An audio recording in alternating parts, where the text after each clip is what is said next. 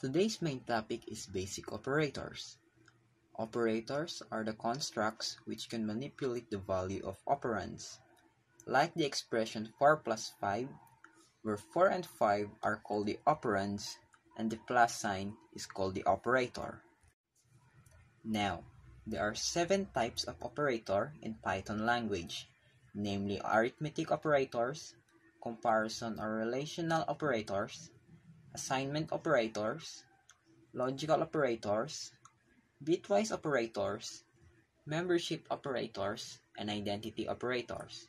Now let's have a look at all the operators one by one.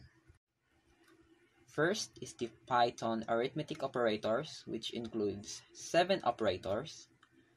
The first is addition operator, which adds value on either side of the operator. The subtraction operator that subtracts the right-hand operand from left-hand operand. The multiplication operator that multiplies the value on either side of the operator. The division operator that divides the left-hand operand by right-hand operand. The modulus operator that divides the left-hand operand by right-hand operand and returns remainder. The exponent operator that performs exponential power calculations on operators. The floor division operator, the division of operands where the result is the quotient in which the digits after the decimal points are removed. Now for an example using the Python language, let's assume that variable a holds the value 10 and variable b holds the value 20. Then using the different arithmetic operators, we will get the value of c.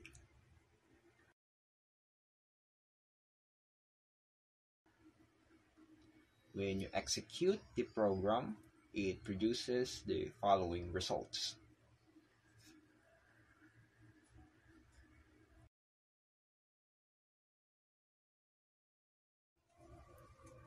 Next is the comparison operators. These operators compares the values on either side of them and decides the relation among them. They are also called relational operators. It has six operators, and the first one is the equal to operator, which states that if the value of two operands are equal, then the condition becomes true. Next is the is not equal to operator, which states that if values of two operands are not equal, then condition becomes true. The greater than operator, which states that if the value of left operand is greater than the value of right operand, then the condition becomes true. The less than operator, which states that if the value of left operand is less than the value of right operand, then the condition becomes true.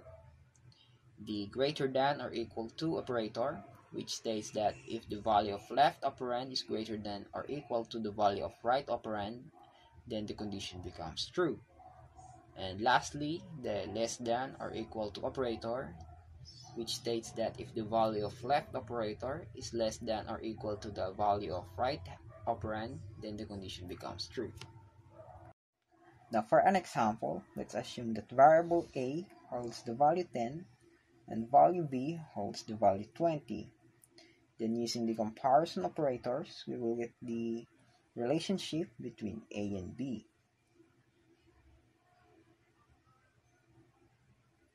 When you execute the program, it produces the following results.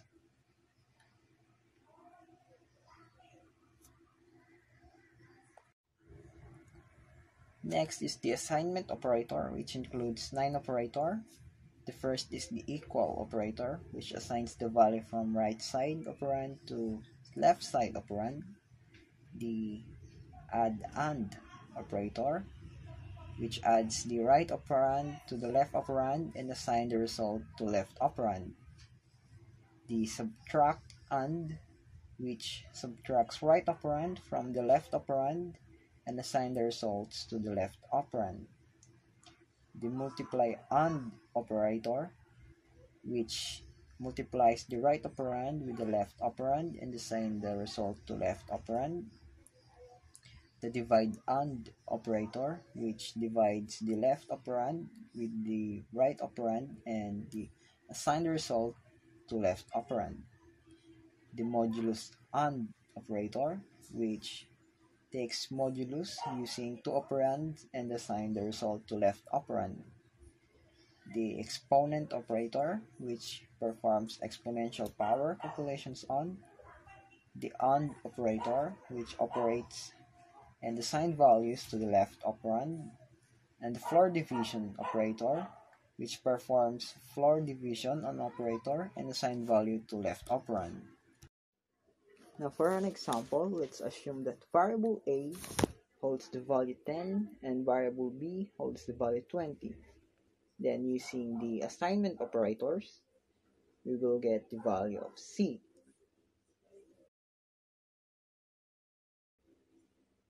And when you execute the program, it produces the following results.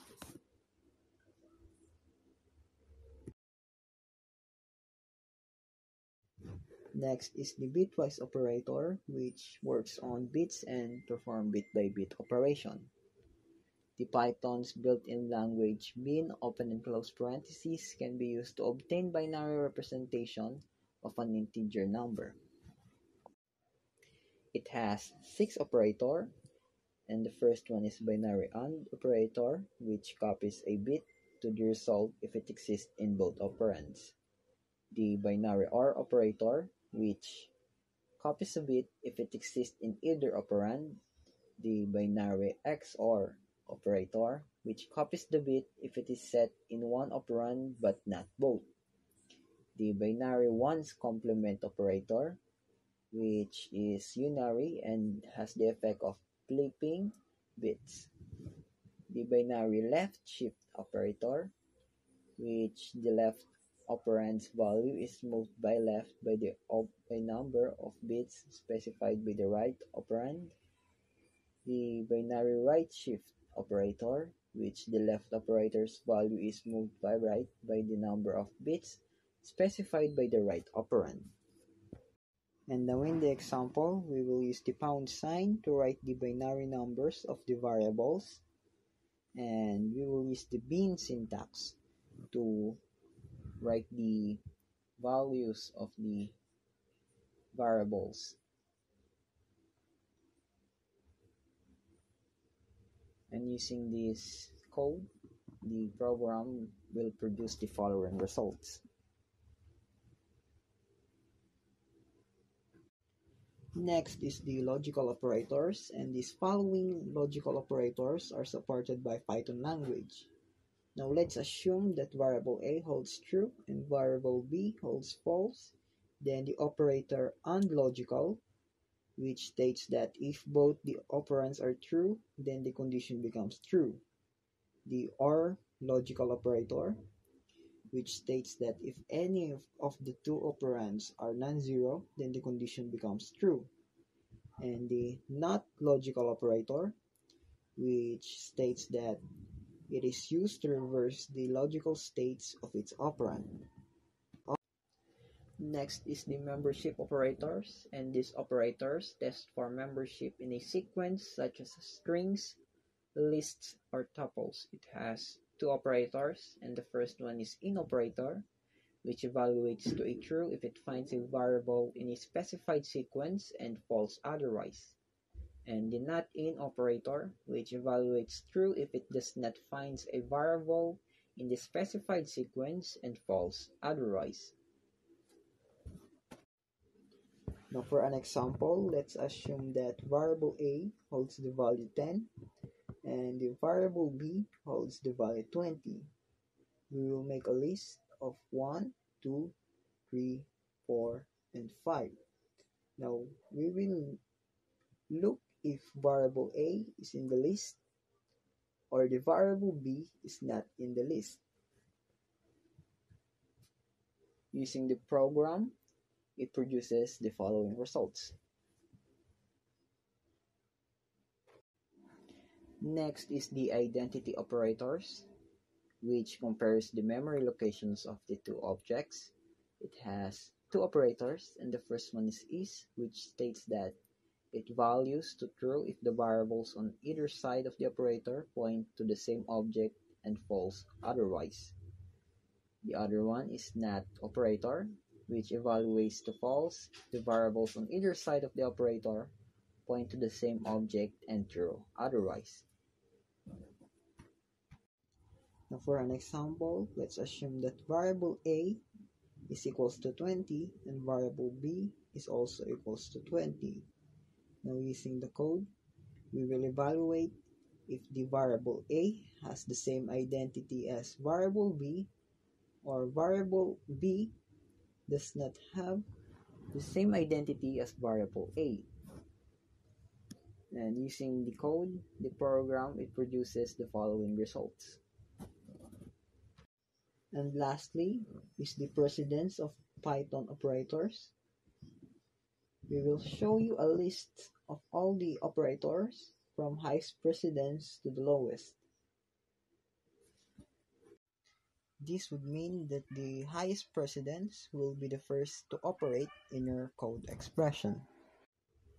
And this is the basic operators for the Python language.